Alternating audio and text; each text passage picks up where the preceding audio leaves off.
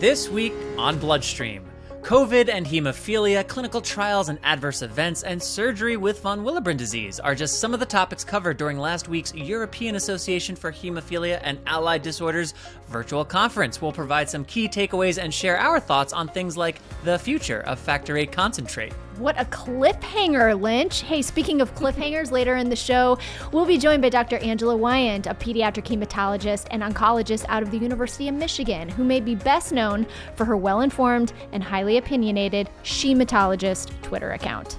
You know, there are some exciting things that are very basic science kind of level that are happening. And I, I hope that as, you know, people are more interested in the disease and more invested that, that more new treatments will come out. Hi, all. I am your host, Patrick James Lynch. And I am your other host, Amy Board. And while Amy Board and I love talking to doctors, we really did love talking to the shematologist. I loved talking to the shematologist. This feels like a legitimate, like, girl schoolgirl crush kind of moment, like a Pen 15 sort of thing? Do you want to? It is, a... though. I love her. okay. Well, thanks for being transparent about that. The point, though, is that Amy and I are not medical experts, so please be sure to consult with one of those before making any healthcare decisions. And reminder that you can watch you can actually watch us. You can see our faces. You it's can true. see us on our Bloodstream Media YouTube channel, subscribe to Bloodstream on Apple Pods, or stream episodes directly from bloodstreammedia.com if you prefer to not see our faces, which, you know, is your choice and feels legit. Thanks for listening. Rate, review, and tell a friend. And hey, welcome to Bloodstream.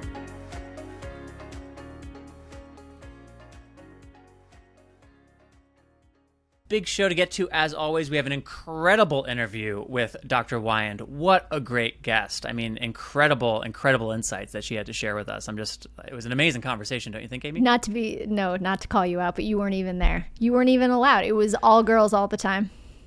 they wouldn't have known that though, unless well, I guess they would in a little bit when my voice doesn't appear on the thing. But okay, well, thanks for not letting me even but, have that moment. I, we i'm sorry i'm sorry i'm sorry. But we do have jessica richmond who is the co-host of flow. She joins me for our interview with dr weyand the shematologist anyway it was lady power. Well i'll be a, a very happy listener of that segment. But uh, dear listeners before we get to that and the rest of the content for today i got to remind you that the bloodstream podcast is made possible by our presenting sponsor takeda. Yes that's right takeda. They have a website bleeding disorders Com, and you can go there to learn all about Takeda's resources for and commitment to the bleeding disorders community. They have things like resources for people affected by von Willebrand disease, hemophilia A, hemophilia B, and inhibitors, as well as so much more. Takeda believes in a world free of bleeds and are dedicated more than ever in their efforts to offer a wide range of programs and support to help patients throughout their treatment journey, wherever on that journey they may be. You can learn more by simply visiting bleedingdisorders.com. One more time, that's bleedingdisorders.com. And for their founding and ongoing support of the Bloodstream podcast, I would just like to say thanks to Takeda. Now that I get to say all that, I get to ask one of my favorite questions each week here on Bloodstream, and that is this Amy Board. How are you? Well, I'm fine. I think the bigger question is, how are you? It's the day, it's the due date day. That's true. I am. I'm fine as well. Just wanted I, to ask if if you have a child or not. Like, I don't, and not in the breathing okay. by itself world yet, but I do on my okay. wonderful blood feed calendar here. Uh, you can see D Day is what's written, which makes it seem a little more ominous in some ways than I, I think it's intended to be. But today's the day, 40 weeks today. Actually, Natalie, I just literally heard the garage open as she's on the way back from the 40 week uh, midwife appointment. So yeah, we are we're in it right now, just waiting just waiting a waiting just game. and we're game. recording on Wednesday. So listeners, you might have received an update at this point. This might be That's true. Yeah, that's true. Date. This is like the most like breaking might change by the time we publish piece of information we're going to share here. So so we won't spend too much time on it because it might be irrelevant very soon. I just would like everyone to know that I wake up every morning and check my phone and immediately tell my household, no baby today. Because we have so many people with due dates around this time. I mean, like, there's like, there's a, there's a little herd of you people that there, been... there are. We got together and we said, look, it's a pandemic. We can't do much. Let's procreate. And we all agreed. So we're all, we're all on the same timeline. Well, we're uh, all excited so... about it. but I'm sure there'll be more information sooner than not. But speaking of more information transition, last week, as mentioned at the top, the European Association of Hemophilia and Allied Disorders, better known as EAHAD, they had their virtual congress attended by 3,100 virtual participants. And by the way, you can still register and access content from that for six months. So if you are interested in the content that came out of the EAHAD Congress, you can go to ehadcongress.com slash registration. There'll be a link in the program notes. And to any of my Cliff Notes fans out there, you know, those of us who in English Lit were like, that book is really big and I got a social studies test to study for, I'm going to grab the Cliff Notes and I'll do my best in the essay section to make up for what I'll get wrong in multiple choice. Well, if you're like me and that was your approach to schooling, you could just sign up for the conference and look at the wrap up sessions that take place toward the end of EAHAD's Congress. But there's a few things that I wanted to point out, Amy, maybe get your take on. Do you mind if I share these things that jumped out with you? I am just anxiously awaiting the Cliff Notes version. I was an avid Cliff Notes user. I oh believe in them.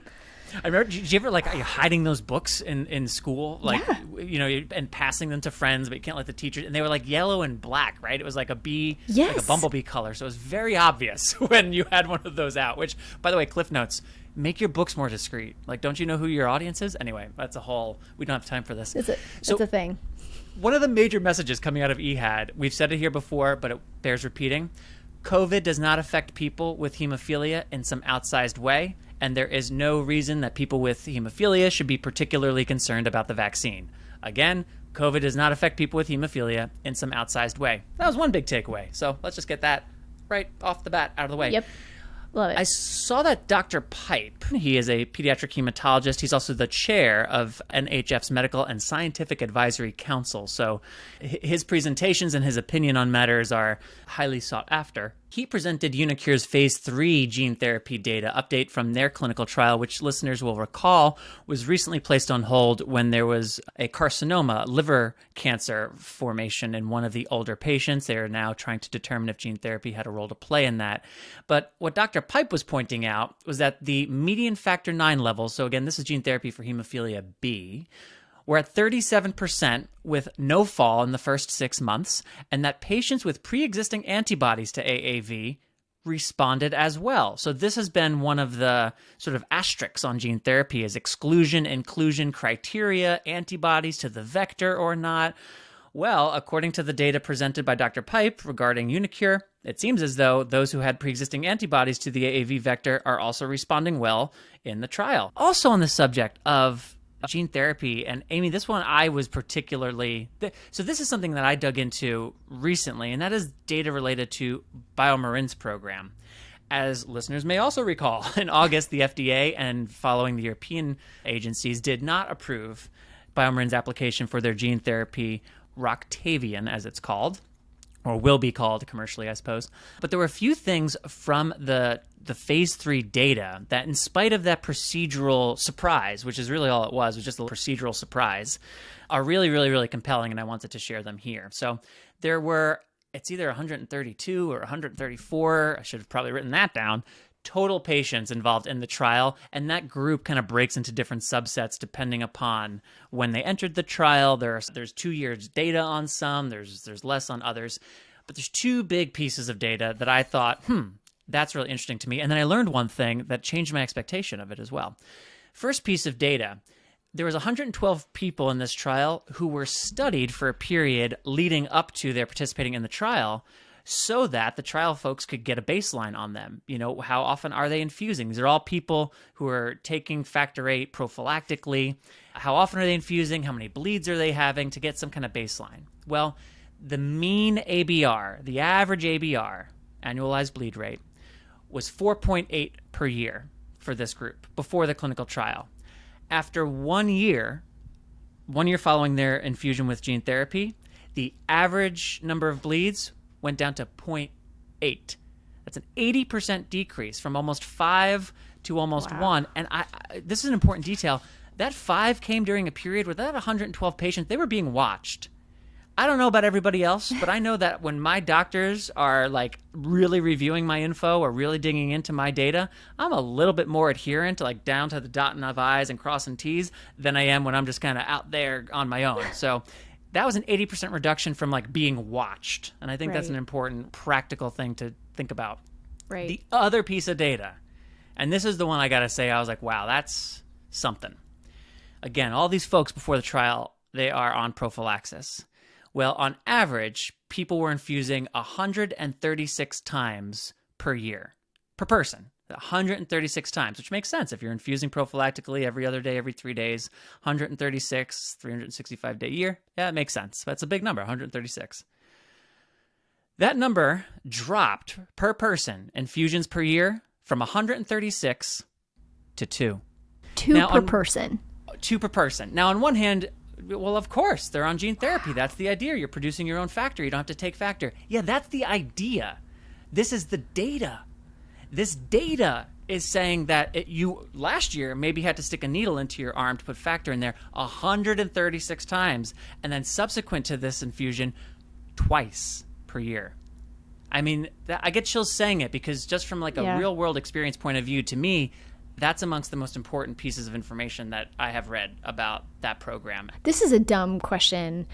I feel like I should know this question, but all of this is new, right? Like this is this is how clinical trials function. So when BioMarin got the news that more data was necessary in order to approve this gene therapy, then this this data coming yeah. out, this bleed data is new, right? So it's like new when BioMarin submitted to the FDA, I believe the only extended data they had to provide were from 17 individuals who had been in the trials for at least two years. And there was a mm-hmm. big drop off in factor production between year one and year two. In year one, factor levels on average were at about 42 43%.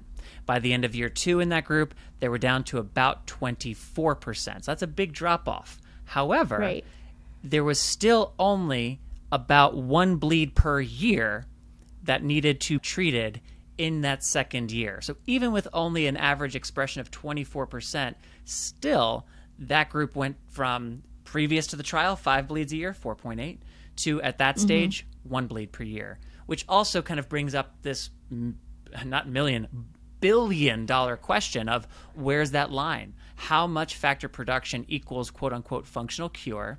And then durability. That's the big question is durability. Because yes, so far this looks great, but if we watch the the factor production numbers dropping as we get from year 1 to 2, 2 to 3, there is a threshold whereby we will start seeing more bleeds and more factor needing to be used. We just don't know where that line is yet, and that's kind of right. exciting and also concerning. Right.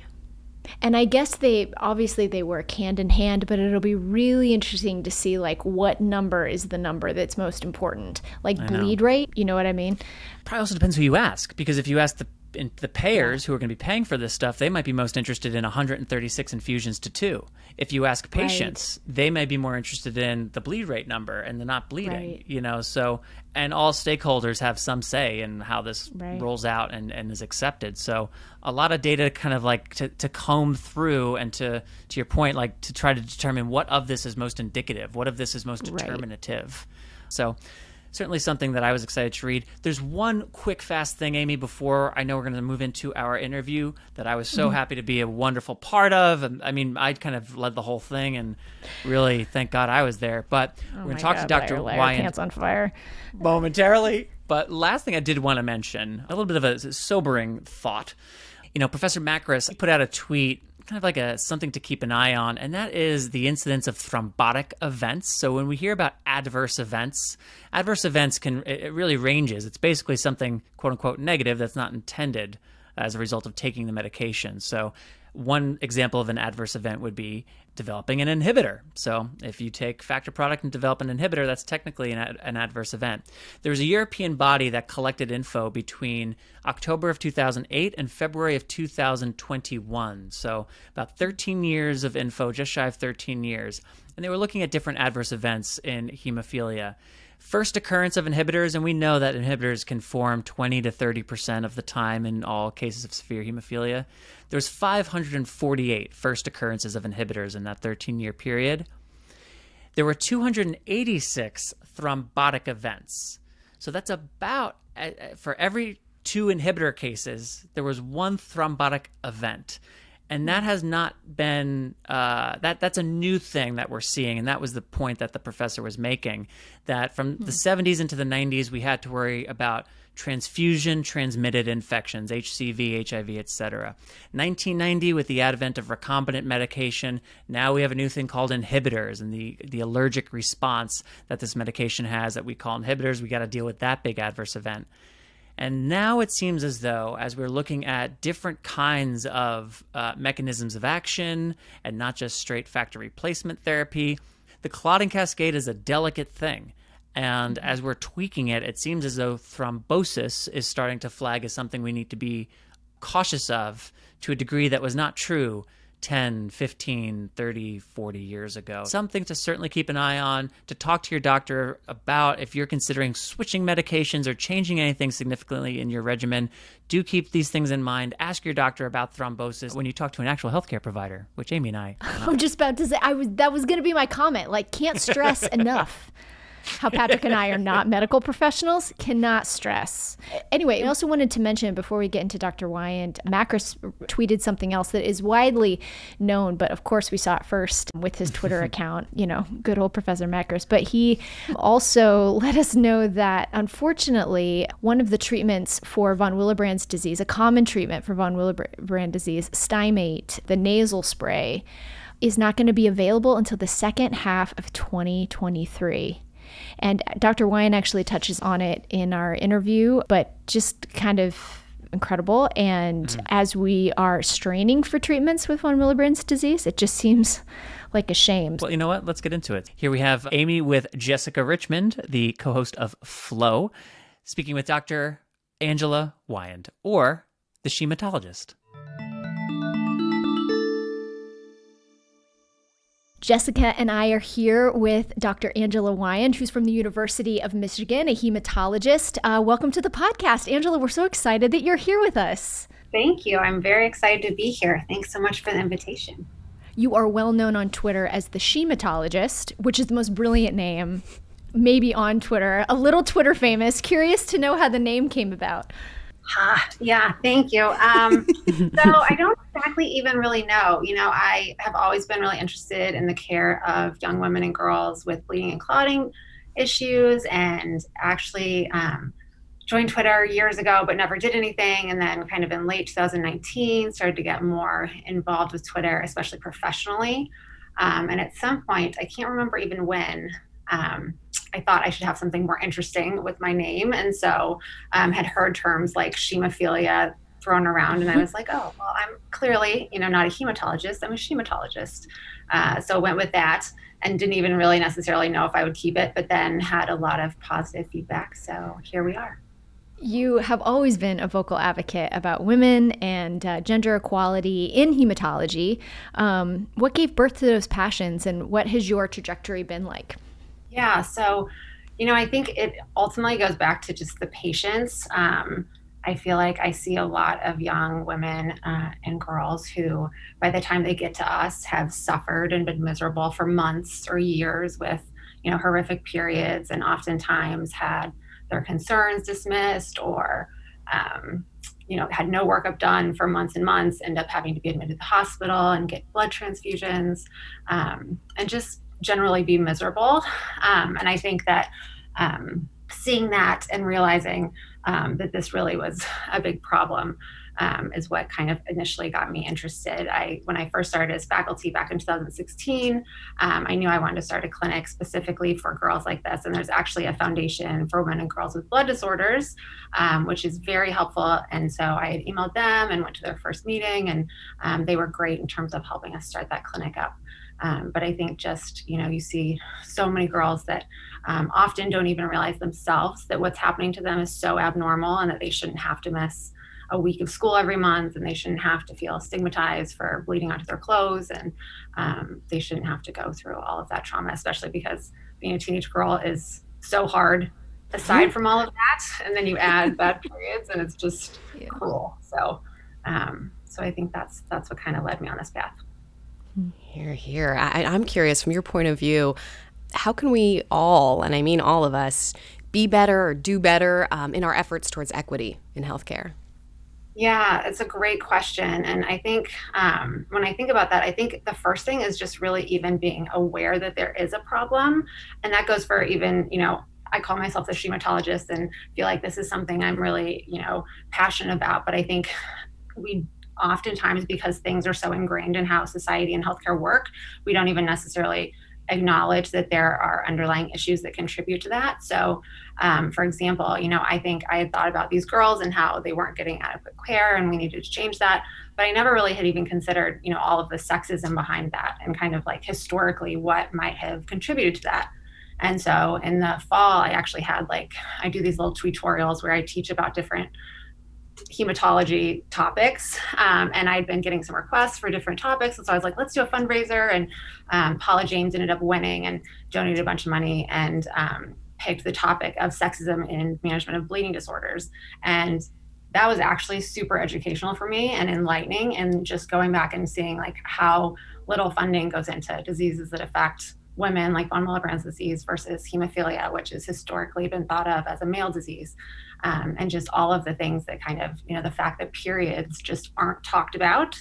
Um, there's this huge stigma around them, and um, people don't know what is normal. And so I can't tell you how many girls sit in front of me and say, My periods are fine. And then that means that they bleed for three weeks in a row and can't go to school because they're bleeding onto their clothes, and the teacher won't let them go to the bathroom. And, and none of that is fine, right? But they've normalized that in their heads. And I think especially with diseases like von Willebrand's disease, where you know if their mom has it as well, she's not necessarily having you know alarm bells go off that say that's abnormal because she suffered through or is currently suffering through the same thing. Speaking of von Willebrand's disease, perfect transition. Mm-hmm. Um, you were a part of this coalition that ideated these guidelines for von Willebrand's disease. We, we've discussed them a little on the podcast, but um, from your point of view, tell us a little bit about why these guidelines were needed. What was the gap that they were feeling? Uh, tell us a little bit about that. Sure. So I think, um, you know, von Willebrand's disease is the most common inherited um, blood disorder, but unfortunately, for so long, I think um, it hasn't necessarily had the most clear guidelines in terms of how to diagnose it or how to manage it. Um, and so historically, there were kind of all of these different groups that came out and said like this is what we recommend but a lot of them actually were directly at odds with one another. So um, for example like like how do you diagnose someone with von Willebrand's disease? Some people said your level needed to be less than 50 and some people said less than 30 and then other people said less than 40 and so depending on you know, if you're a patient, depending on what physician you see and what guidelines they're looking at, the same patient could be diagnosed with von Willebrand's by one physician and then have another physician say, no, no, you know, your level is in this area where I wouldn't even consider you to have von Willebrand's disease. So I think it was this amazing undertaking. It was, you know, a huge project to get these four different groups together. And I think the logistics of that is incredibly difficult, but um, was so needed in order to try to have more of a consensus for these issues. Because I think if we can't even come to a consensus, you know, how difficult must that be for patients who, you know, if they move and go to a new physician, they may have had a diagnosis of von Willebrand's disease for decades and then go to someone new who says, oh, I don't even think you have von Willebrand's disease. Um, I think that can be a real problem. Wow. Wow. So then I, I want to know what was the coalition like, or how did you come to that co- consensus with differing information from different contributing members at first? Yeah. So I think they did a really fantastic job. You know, I think they really thought this up out. Um, and it took years um, to do. So they definitely had, I think, really good representation on the panels. They had hematologists, but also like our panel had a gynecologist, like obstetrician gynecologist. Um, there were patient representatives prior to mm um, the questions being decided on. They put out a survey and had really great engagement from the community in terms of physicians and patients saying like what are the issues that are important to you? Sitting on the panel itself i think there was so much discussion of like okay you know what kind of questions we want to answer? And then once we kind of came to an idea it was like are we really representing everyone here right? Like are there patients that are going to feel left out if we answer these questions? Because there's you know so many more questions we could have answered, but you're limited by time and resources and everything. So I think they did a fantastic job, you know, trying to take into account everyone's opinions. Um, and really, I think when it came down to those questions of, you know, like where I wasn't on the diagnosis panel, I was on the management panel, but, you know, where are we drawing the line or what is our recommendation going to be? It really was a very good discussion and like trying to get people all um, to kind of be on the same page. And I think sometimes the patients felt like, um, you know, it has to be a little bit intimidating to sit on a panel. I mean, I was the most junior physician on my panel, and I was like, I don't belong here. These people know way more than I do. Um, I can't imagine, like, as a patient sitting there and, and, you know, having to speak up and say, you know, I disagree with you, the person who's published, you know, the most on von Willebrand's disease in the last decade. Um, but I think people were so inclusive, and um, you know, when patients weren't always contributing, then you know, would be sure to kind of try to bring them in um, and make sure we were taking in um, their perspective. And I think a lot of the things that were considered are things that I never realized um, like guidelines took into account. Like, for example, when we were saying, like, okay, we're going to say that combined hormonal contraceptives um, are, you know, recommended for heavy menstrual bleeding. Then there was a question while we were coming to that to that conclusion of like what will this do for equity? You know how how will this like affect equity? Or how will this affect access? And how will um, you know all these issues that i kind of thought when people made these guidelines it was like here's the science and this is what we say. Um, but there was a lot of discussion of like these bigger societal you know we want to be inclusive of patients and we want to make sure that people have access to appropriate treatments and um, that we're not disadvantaging people by saying you know one thing versus another it's fascinating. Is this normal? Like uh, to to create guidelines um, for the management of a disorder or a disease? Is this normal in the physician community, in the patient community as well, to have like a coalition like this? Um, you know, I haven't seen it be uh, as um, much like having four huge organizations all come together to do it. Um, I know ASH has done a number of these kind of guidelines over the past um, years on, on various different diseases, mm. um, but I haven't seen it be as much of a kind of collaboration between big organizations. Interesting. And what tell us a little bit share with our listeners a little bit the importance of creating a standard of care in particular for um, a disorder like von willebrand's disease yeah so i think um, you know a lot of it is just um, as i mentioned before um, that you know, you don't want patients to go to one physician and be told one thing and then have another, you know, physician say something completely different. And I think that happens a lot in medicine, but the more you can try to prevent that from happening, the better.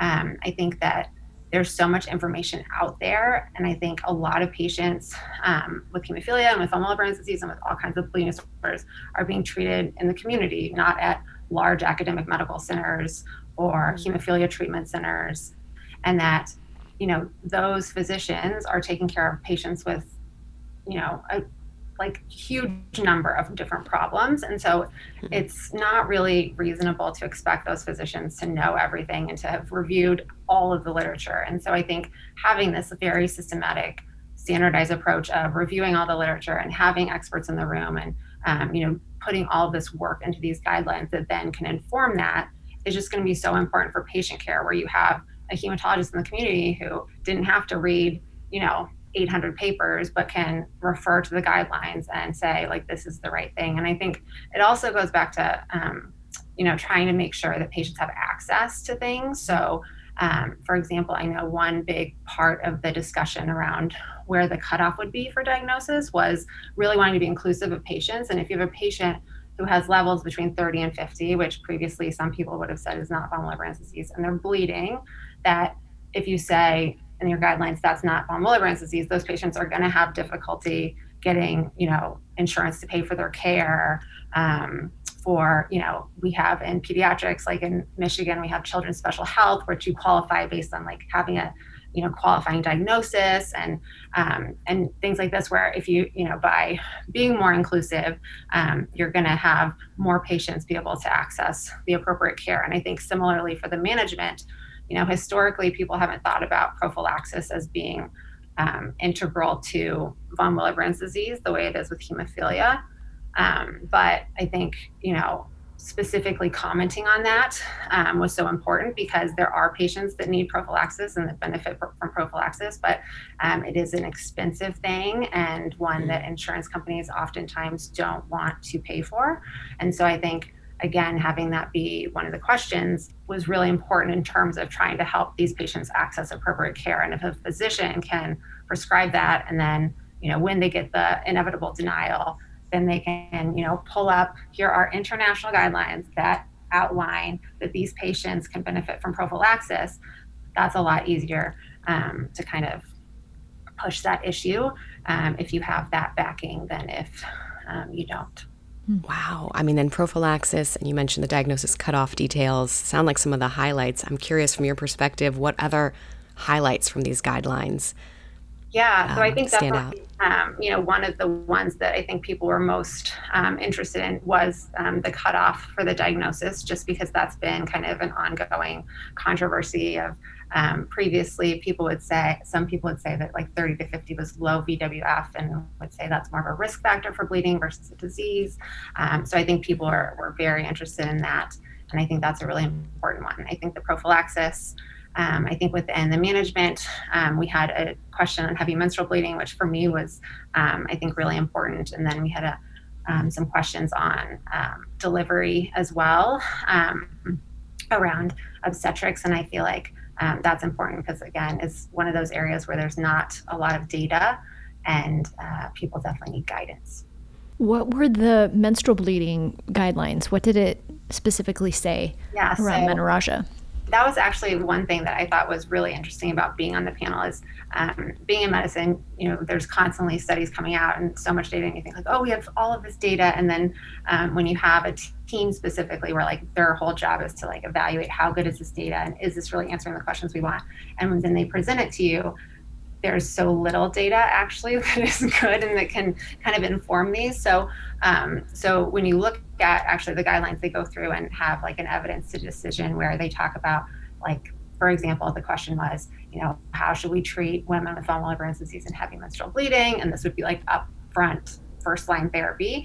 Um, and they talk about like these are the studies that we looked at to to decide this. And there were really two studies and then five case series that that ultimately informed the recommendation, which when you think about like the number of studies out there is very few, and only one of those was actually a randomized trial. So um, we ended up settling on um, that for women who are um, not interested in currently conceiving, that either combined hormonal contraceptive or an antifibrinolytic like Lysteda would be first line over something like DDAVP.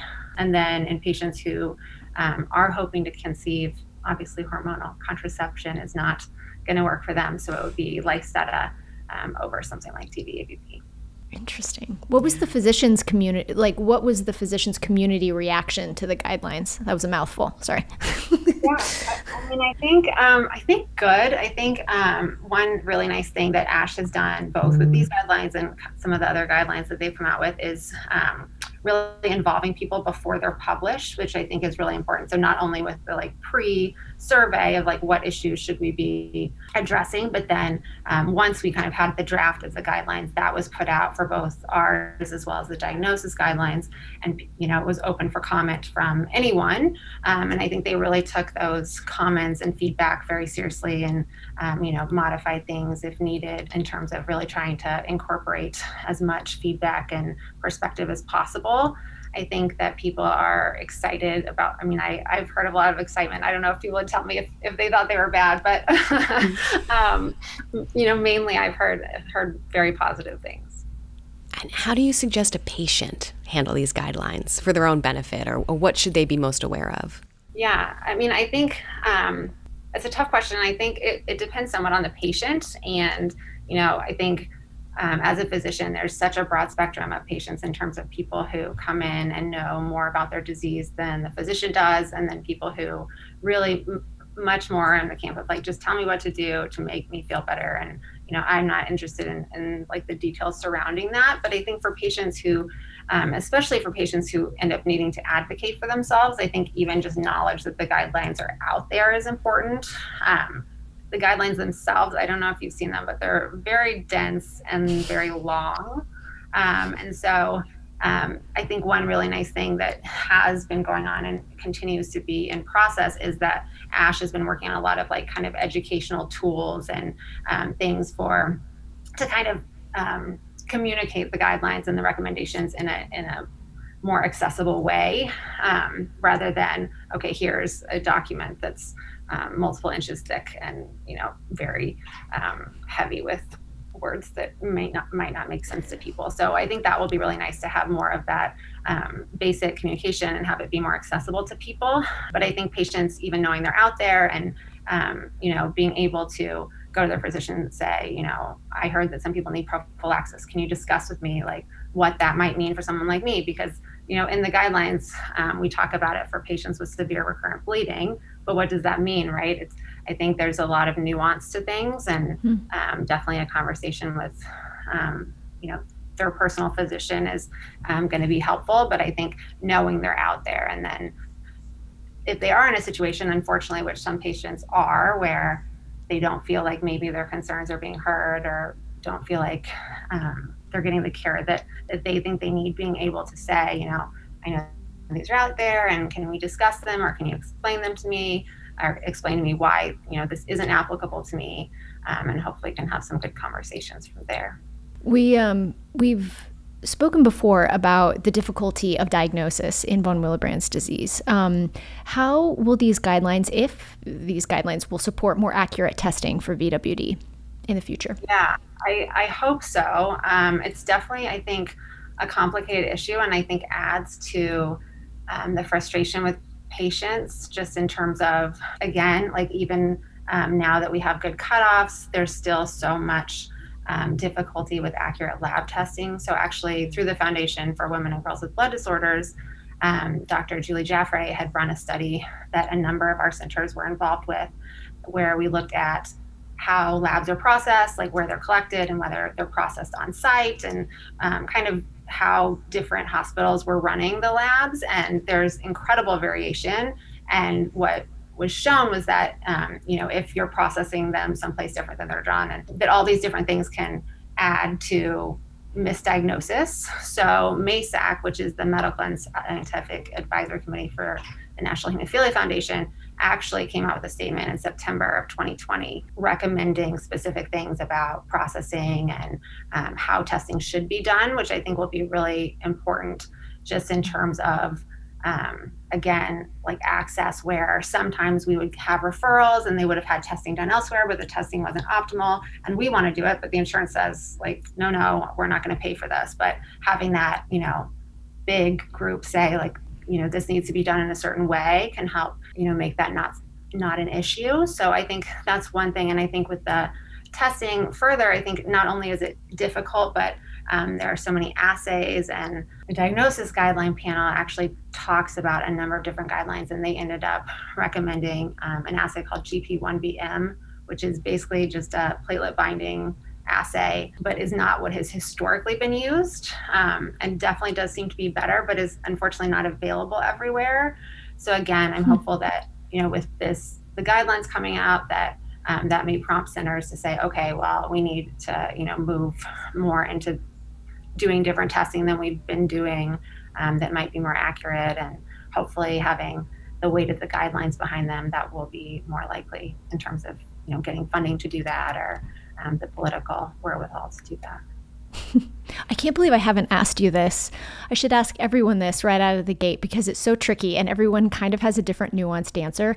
How do you describe what von Willebrand's disease is? like, you're sitting in a room, you know, with a preteen, like how do you describe what it is? It's so tricky. It is so tricky.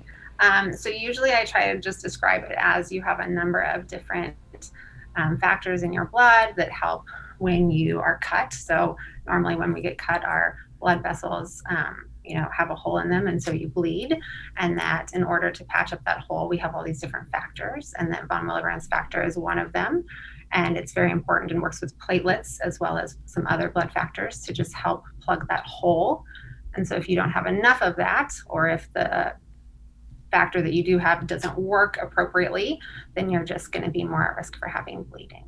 And is this this feels like an elementary borderline ridiculous question, but because von Willebrand's factor, the factor has multiple jobs, like it has some platelet jobs, but then it's also connected to factor 8 in a way, is that why it's so tricky to like diagnose um, and like figure it out? I, I think um somewhat, yes. So ex- exactly. And I think um that's part of what um, they kind of get towards in some of the guidelines in terms of there's all these different assays because it does bind platelets. So like mm. historically, the activity assay is just how well does it bind platelets. But we also know it binds collagen, and historically that's not something that's been tested.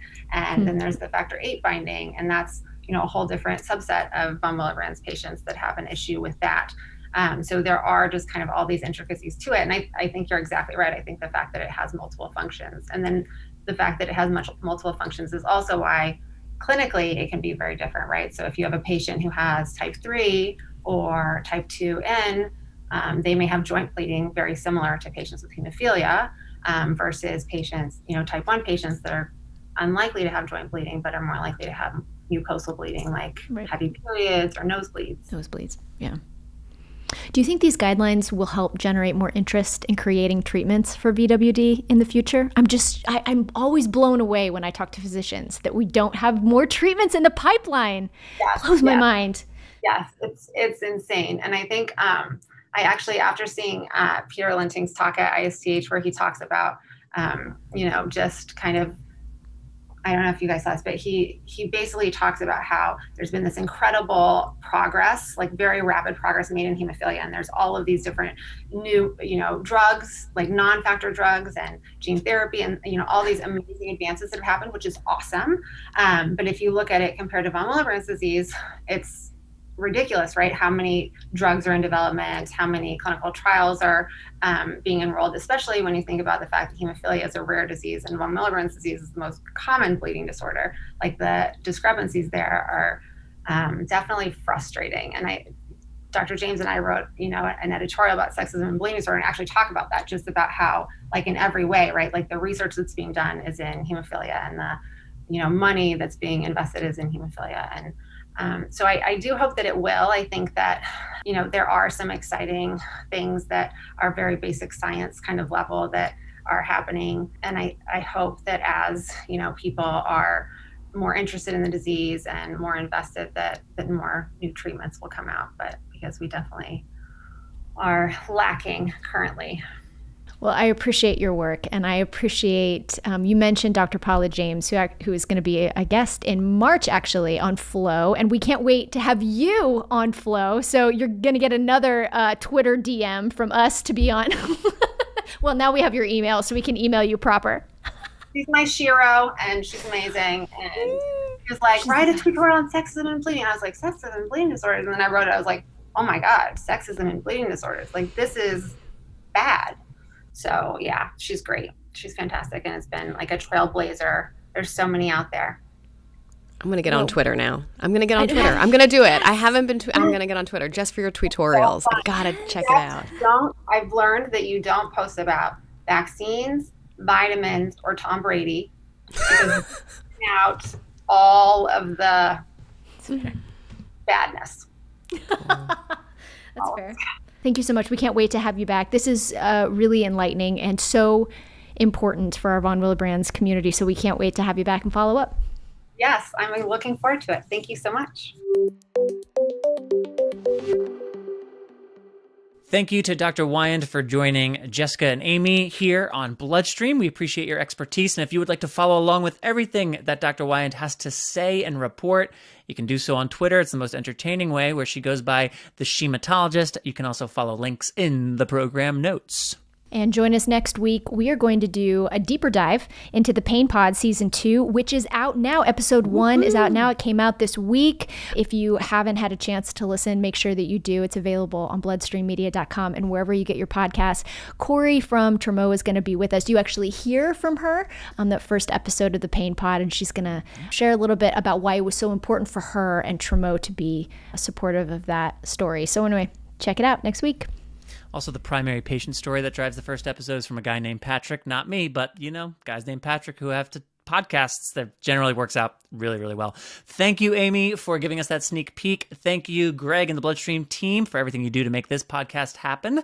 Thanks to Takeda for being the presenting and ongoing sponsor of the Bloodstream podcast. BleedingDisorders.com is their website. And that is all for this episode.